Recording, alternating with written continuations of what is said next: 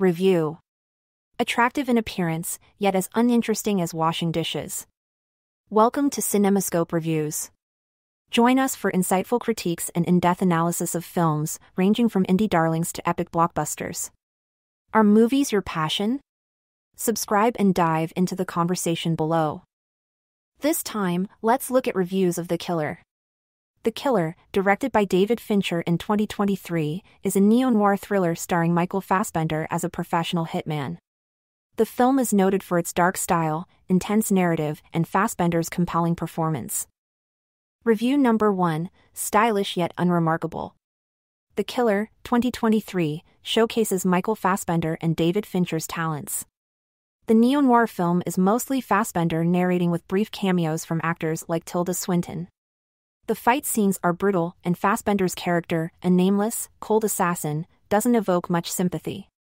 The soundtrack by Trent Reznor and Atticus Ross adds to the intensity. Although visually impressive, it's not Fincher's best. Review number 2 Misinterpreted Psychopath Portrait. David Fincher's The Killer stars Michael Fassbender as a psychopathic assassin. The film's narration attempts to portray deep thoughts but actually reveals flawed logic. Examples include his misunderstanding of DNA traces and survival of the fittest. The scene with Tilda Swinton at the restaurant highlights his psychopathy, characterized by a wide eyed stare and predatory focus. The film tries to explore the killer's ego rather than genuine revenge. Review number 3 Oscar worthy performance. Michael Fassbender's performance in The Killer is outstanding, potentially deserving an Oscar nomination. His portrayal of an assassin is deep and engaging, but the story itself isn't the strongest. Despite this, the film's direction by David Fincher and Fassbender's acting make it a compelling watch. The film's narration gives insight into the protagonist's thoughts, adding to the storytelling. Review number 4 Disappointed Expectations. Anticipating the killer for its stellar cast and direction, I was left disappointed. Michael Fassbender's role as a stealthy killer is dramatic, but the film's straightforward storyline and implausible actions were unconvincing. The movie's style is quintessential Fincher, yet it fails to deliver beyond average due to its lack of depth and over reliance on commentary. Review number 5 Nuanced but familiar. The Killer, directed by David Fincher, features a nuanced performance by Michael Fassbender. The storyline is familiar, but the film shines through its characters' internal monologue and philosophical musings. Despite its predictability, it's a solid addition to Fincher's filmography, showcasing Fassbender's talent in a role that requires minimal dialogue but considerable emotional depth. Review number 6 Flawed yet refreshing. David Fincher's The Killer stars Michael Fassbender as a hitman. The film is meticulously crafted but suffers from excessive narration, which becomes tiresome. It has humorous moments and a stripped down style that suits the material. However, the repetitive monologuing and rushed CGI fight scenes detract from its overall impact. It's not among Fincher's best works but offers a unique approach. Review number 7 Edge of Seat Thriller. The Killer is a thrilling film that keeps viewers engaged from beginning to end. Directed with precision, it explores the complexities of the human psyche with unexpected plot twists. The mix of suspenseful and action packed moments creates a riveting experience. Michael Fassbender's performance is notable, contributing significantly to the film's impact and leaving a lasting impression. Review number 8 Underappreciated but flawed. The Killer by David Fincher, though underrated, is likely to be overlooked on Netflix. It offers a simple yet tense narrative with themes familiar to Fincher's work. The film's sound and music, enhanced by the cinema experience, include a standout action sequence. However, its generic title and straightforward plot might not fully captivate audiences. Review number 9 Gritty and Stylish. David Fincher's The Killer is a gritty thriller action film focusing on a hitman's life.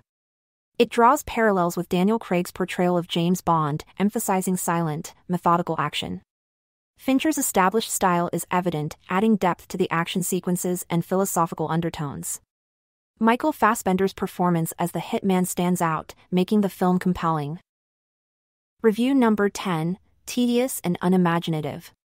The killer begins with potential but quickly becomes monotonous. The protagonist's repetitive mantras and unconvincing confrontations make for a tedious watch. The antagonist's weak motivations and the dialogue's lack of creativity contribute to the film's overall dullness. It fails to live up to its initial promise, resulting in an unimpressive and forgettable movie. Review number 11 Solid but not Fincher's best.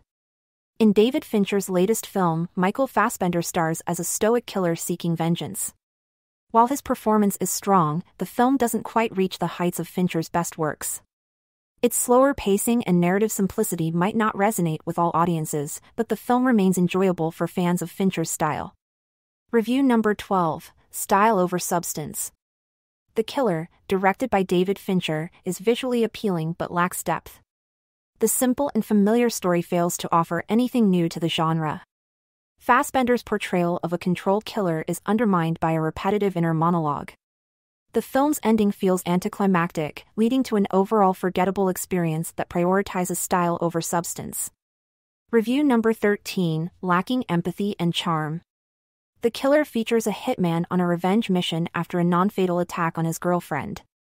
The narrative lacks depth, with the protagonist killing indiscriminately. The film raises moral questions and presents an uncharismatic lead, leaving viewers questioning the movie's message. The killer's actions and the film's conclusion create a sense of unease about its portrayal of justice.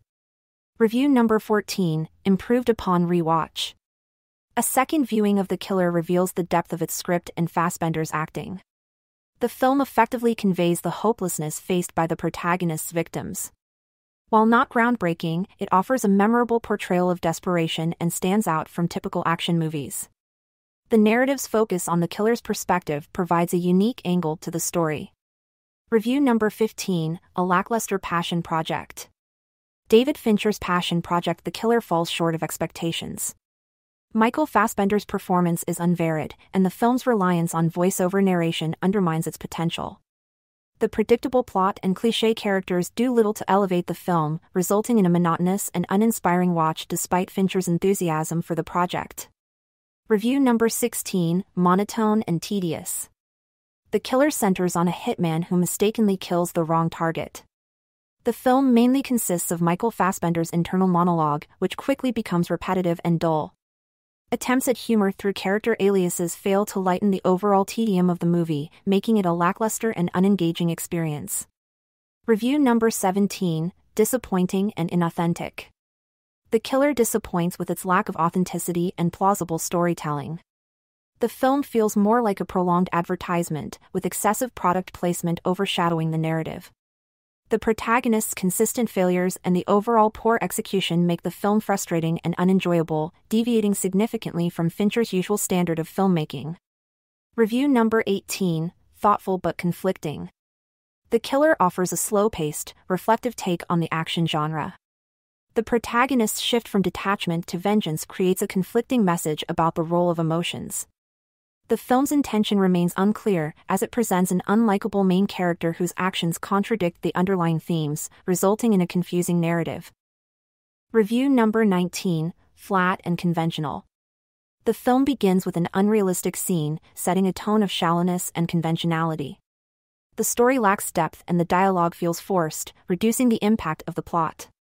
The lowering of stakes for the characters' deaths and the overall mediocre execution makes it just another forgettable Netflix movie despite the presence of a talented actor. The following is the final review. Review number 20 Stylized but Monotonous. The Killer, by David Fincher, delves into the mind of a hitman in a linear and repetitive fashion.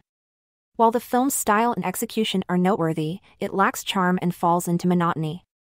Despite being conventional, it offers interesting insights into the human psyche and society, making it a significant but not particularly exciting addition to Fincher's filmography. That concludes our reviews. Thanks for tuning in to our movie review.